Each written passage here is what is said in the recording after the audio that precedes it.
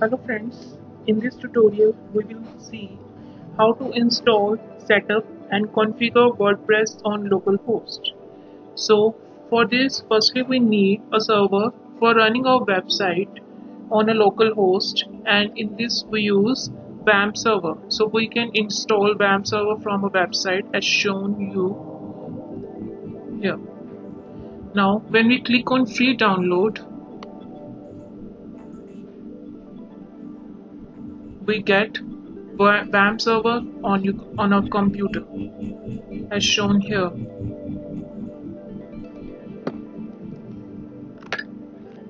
Now all of you can see that WAMP server has been downloaded in our computer. Now we can install this by when we double click on that WAMP server icon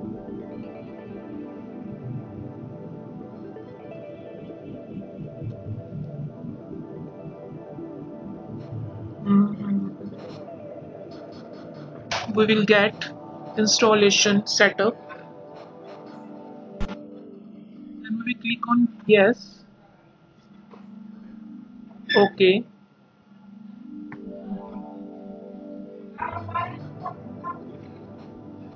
Then accept that agreement. And next next next next. Then click on install button then wait for few time.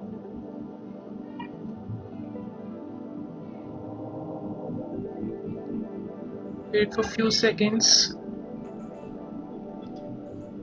As you can see that WAMP server file is of 209 MB uh, so it will take some time for installation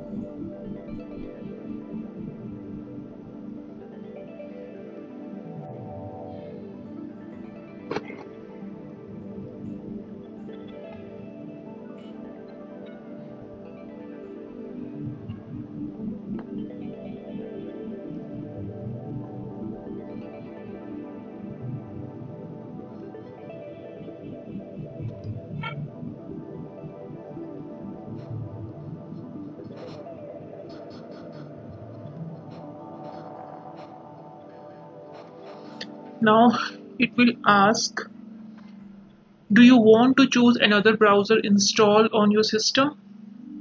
Now by default internet explorer has been selected so we no need to change that.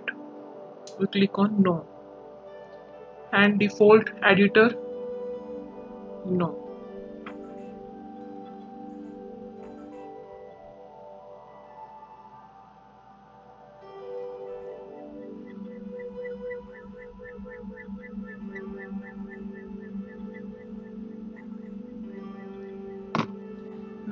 click on next and finish.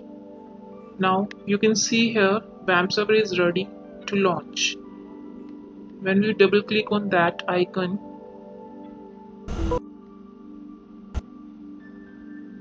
you can see here firstly the icon is of red color.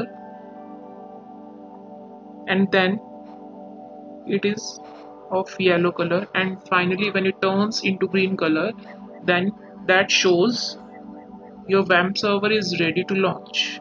You can see here. And when you click on that icon you can see number of options. Now after that we'll need to uh, download WordPress. We'll download WordPress from WordPress official website here. You can see that WordPress is installed is downloading in our PC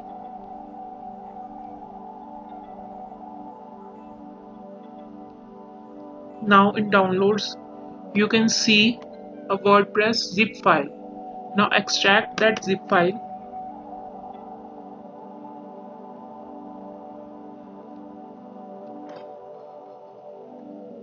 as all of you can see that we will get this folder WordPress 4.8 open this folder. You can see number of files or folders. So for installing WordPress firstly we go to C drive and WAMP folder. As in my PC I have 64 bit uh, PC so here is the name WAMP64 now go to www folder. Now create a folder here.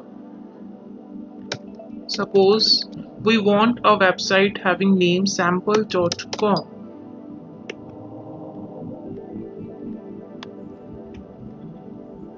so give that name to a folder which we want as a name of our website. Now go to downloads copy all these files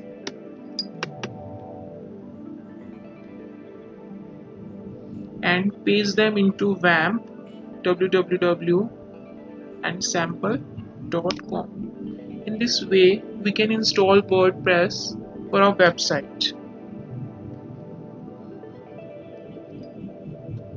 Now after that we will need to configure virtual host for running our website. And this can be done in two steps. First of all go to WAMP server icon click on that icon and Apache. You can see here a file named httpd vhost.config open that file. All of you can see that there is a code for virtual host in this file. Now copy that code and paste at the bottom of this file. Now do setting according to your requirement as we have a Word, WordPress website name sample.com so copy that name and paste it here. Similarly slash paste it here. Paste it. And save the document. And second step is run notepad as admin. Right click on your PC here you can see notepad. Right click on notepad. Run as admin now open a file known as host which is situated in C drive Windows system32 drivers and etc etc folder. Now here you can type host and open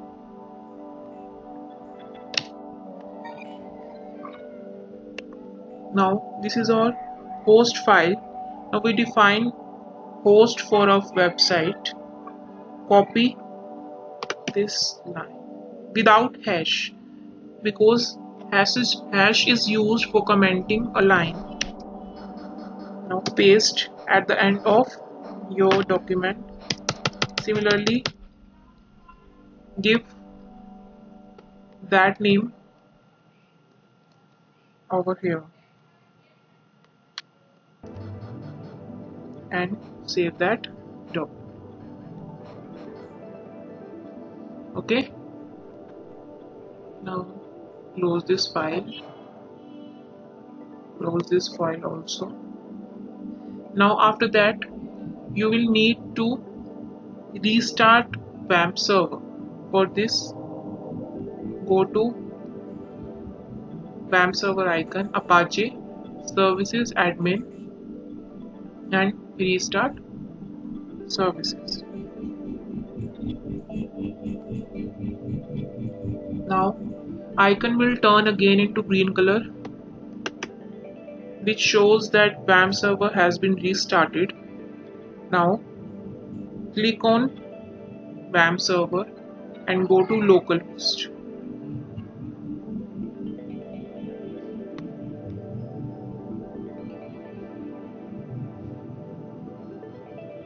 At the bottom of this page you can see your project name that is sample.com when you click on that link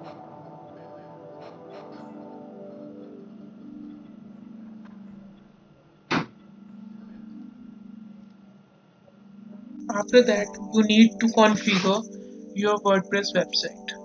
For this select a language English. Continue. Now this wants database name database username password host etc for for your website. Now you need to create a database. Go to WAMP server php my admin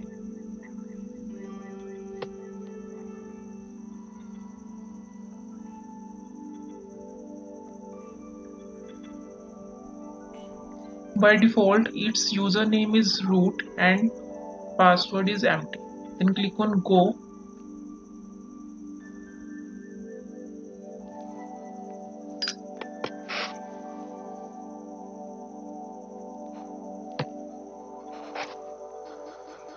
Now create a new database new database name suppose sample underscore collation you have to select UT8 general CI CI represents case insensitive. Then click on create. As you can see your database has been created. Now use these credentials over there and click on let's go button. Type your database name sample underscore com. Username is root and password is empty. Now click on submit button. Run the install. Now type the name for your website. Suppose we want sample dot com. Username sample underscore admin. Okay. Now copy that password for your future use.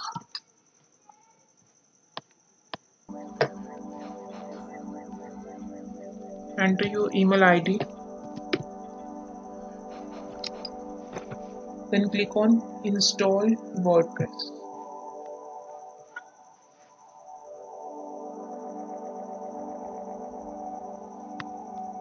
click on login. Enter your username sample admin and password which you have copied. And click on login. So finally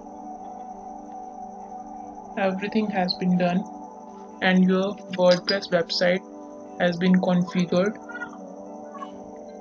click on sample.com you can see your default theme here.